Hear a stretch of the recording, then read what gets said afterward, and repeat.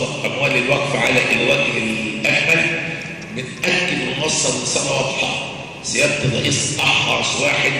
فينا على وضع الوقف في مصاريفه الشرعية. يعني إحنا بنهتم سيادة الرئيس بالوقف ليوظف في أغراضه المنوطة به محدش لا بالعكس إحنا كلنا